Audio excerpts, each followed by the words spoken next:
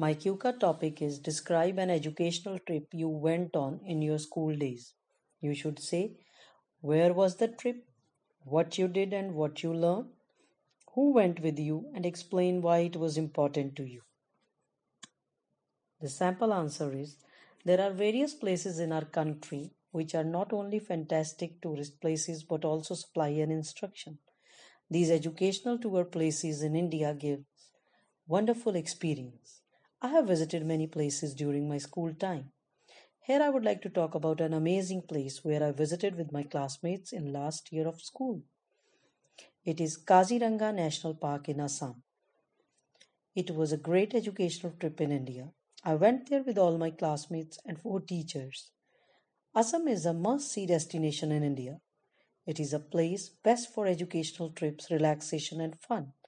It is famous for its archaeological sites, wildlife, and tea plantation. Assam has a lot of places that you can explore to learn and create unforgettable memories.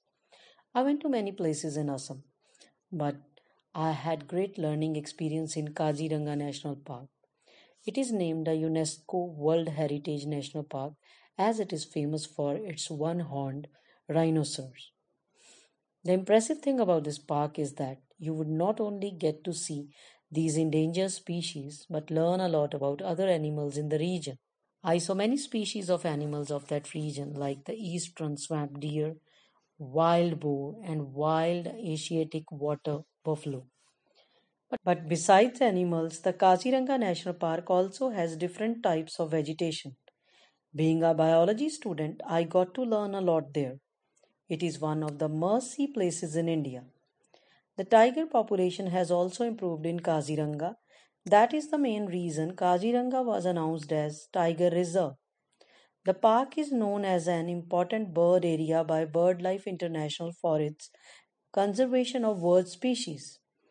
Birds like lower white-fronted goose, duck, black-necked stork, and Asian open-billed stork especially migrate from the Central Asia. So if one wants to see endangered wildlife species and birds, it's a must-visit place. I learned a lot from this place and it was a great educational trip. Thank you.